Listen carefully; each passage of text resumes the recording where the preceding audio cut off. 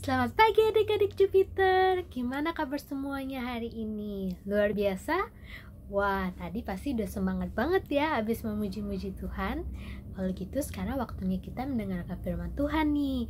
Semuanya pasti udah siap juga kan Untuk saat mendengarkan?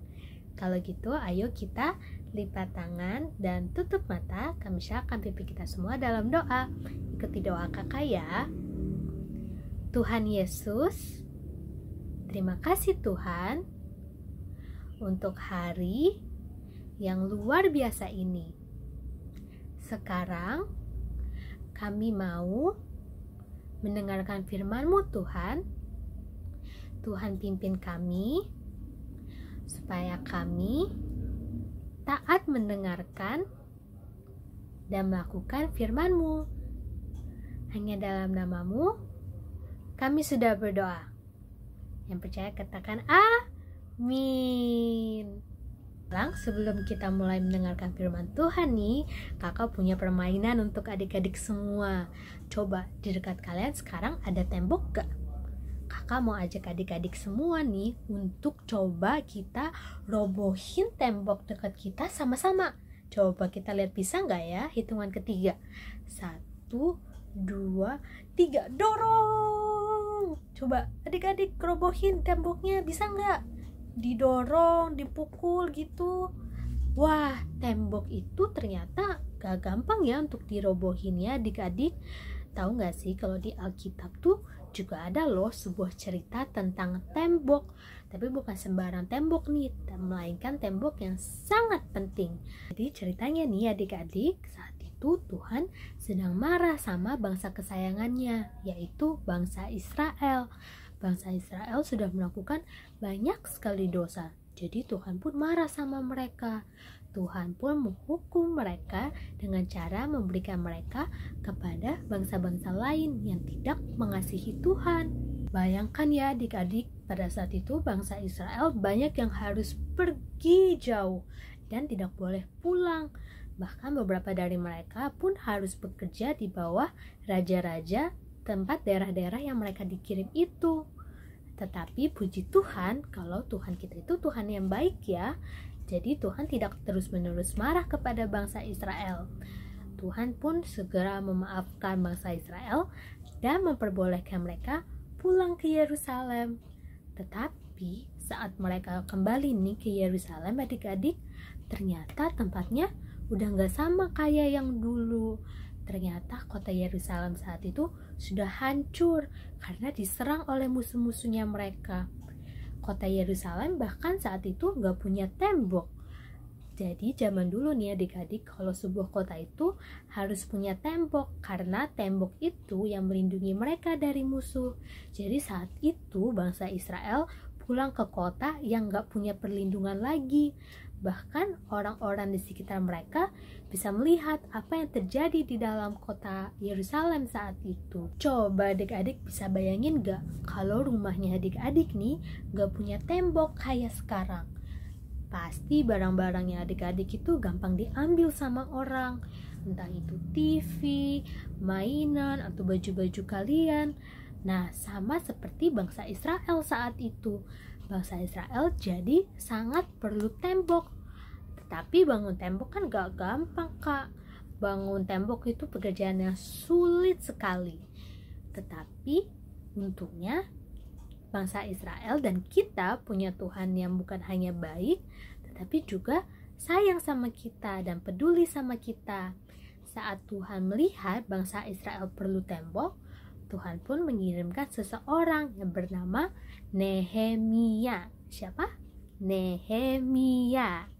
Nah, Nehemia ini begitu mendengar kalau Israel tidak memiliki tembok, hatinya tuh langsung sedih sekali. Dia tahu betapa bangsa Israel membutuhkan tembok.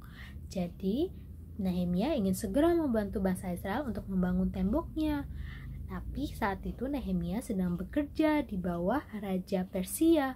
Jadi Nehemia pun harus minta izin kepada Raja Persia itu untuk pergi ke Yerusalem. Dengan pertolongan Tuhan, akhirnya Nehemia pun diperbolehkan untuk pulang. Bukan hanya diperbolehkan pulang, tetapi Raja Persianya bahkan mengirimkan panglima-panglimanya untuk uh, menemani dan melindungi Nehemia di perjalanan pulang. Wah, Tuhan kita nih bukan hanya baik dan sayang sama kita, tapi juga sangat berkuasa adik-adik. Bahkan tidak ada yang tidak bisa dilakukan oleh Tuhan kita. Jadi sampailah Nehemia di Israel dan Nehemia serta bangsa Israel akhirnya mulai bekerja hari demi hari untuk membangun tembok untuk melindungi kota mereka lagi.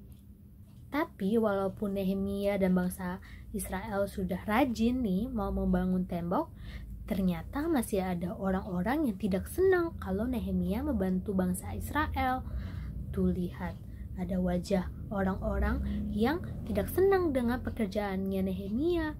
Tetapi apakah Allah diam saja kalau melihat ada orang-orang seperti itu? Tentu tidak, karena Allah itu berkuasa. Allah kita itu berdaulat. Berdaulat itu akhir artinya dia itu berkuasa atas segalanya. Apa pun yang dia mau itu pasti akan terjadi adik-adik. Tahu gak sih kalau Allah itu juga berdaulat loh atas hidup kamu? Semua yang Tuhan sudah rencanakan dalam hidup kamu itu pasti akan terjadi. Jadi mau itu rencana Tuhan kamu untuk pergi jauh itu pasti terjadi kalau itu rencana Tuhan untuk kamu jadi dokter, jadi guru, jadi pengusaha, apa pun rencana hebat Tuhan, itu pasti terjadi di hidup kamu. Dan kalau Tuhan sudah berencana, apakah ada yang bisa menggagalkannya atau menghancurkannya? Tentu tidak, adik-adik. Kita sebagai manusia itu mungkin saja lemah, tetapi ingat kalau kita itu punya Tuhan yang kuat dan berkuasa dan berdaulat. Semua yang sudah Tuhan rencanakan di hidup kamu itu pasti terjadi.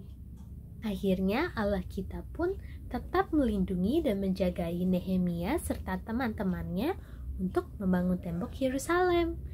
Akhirnya nih setelah 52 hari terbangunlah tembok Yerusalem. Jadi bangsa Israel punya tembok lagi. Hore! Bangsa Israel jadi tidak akan mudah diserang oleh musuh-musuh mereka. Mereka sudah dikelilingi oleh tembok yang kuat dan tinggi untuk melindungi mereka. Wah, Allah kita berkuasa ya adik-adik. Allah kita yang sudah melindungi, menjagai, dan menolong Nehemia serta teman-temannya untuk membangun tembok Yerusalem seperti yang sudah direncanakannya. Terpujilah Tuhan kita. Sekarang adik-adik pasti masih ingat kan ayat hafalan kita bulan ini? Kalau gitu coba kita ulang sama-sama pakai gerakan ya. Mazmur 100 ayat 4 Bersyukurlah kepadanya dan pujilah namanya. Gimana? Pasti masih bisa kan adik-adik? Hebat memang adik-adik Jupiter.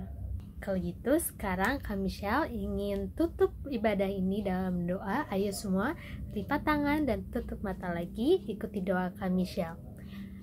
Tuhan, aku tahu sekarang kalau Engkau berdaulat di hidupku. Apa pun yang kau rencanakan untuk hidupku, aku percaya itu yang terbaik dan pasti akan terjadi. Hanya dalam namamu Tuhan, aku sudah berdoa. Yang percaya katakan A. Amin. Sampai jumpa minggu depan adik-adik. Sampai jumpa.